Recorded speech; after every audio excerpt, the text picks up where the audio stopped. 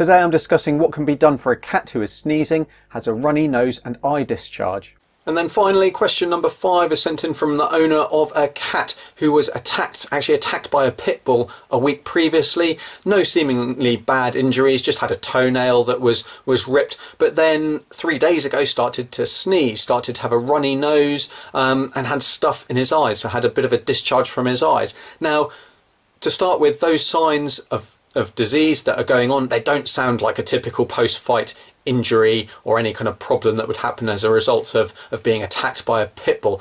You know, obviously getting checked over by your vet is very important after any kind of trauma like that. Certainly dogs can do a huge amount of damage to, to cats. Um, and I imagine that the, the cat was checked over, or at least I hope it was. Now, what these signs do sound typical of though is respiratory disease. So disease of the, the upper airway, so the nose um, and yeah, and really that can often be caused by stress. So stress can flare up often these viral diseases. So we have a couple of cat flu viruses, which are typical um, in cats and very common in that called herpes virus, which is um, the same as what causes cold sores in us, or the same family of viruses that causes cold sores in humans. Um, and also calicivirus is another one. And they can be present in a normal, healthy individual, uh, and they will flare up at times of stress. Now, if it's only mild disease, then they can be fairly self-limiting, meaning that they will get better by themselves without any particular treatment. You know, we need to keep the eyes clear, we need to try and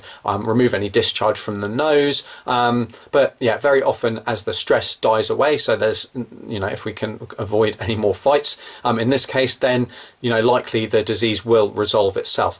Now, we can sometimes, though, need other medications. So that might include something like lysine supplementation, it could be eye medication in case there's any ulcers developing. Um, we can need antibiotics sometimes for any secondary infection. So sometimes the bacteria that are normally present in these areas will take advantage of the inflammation and damage that the virus is the, the viruses are causing um, and need antibiotics to control those.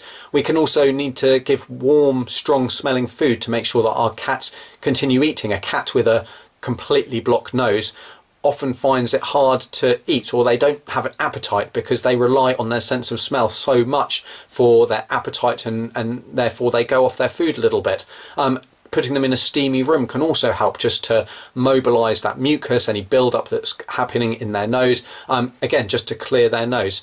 Now, if the disease is affecting a cat's general demeanour or it's getting worse or it's not going away, then obviously you need to consult with your vet, even if it's something that you've dealt with time again, if they've had a similar problem in the past, if they're getting worse, if it's not going away, then talking to your vet and getting them checked over to make sure that there aren't any other injuries or other diseases is going to be very important. You've been watching the Dr. Alex Answers video podcast. Remember to subscribe and head over to dralexanswers.com for any links, downloads, and get your question answered.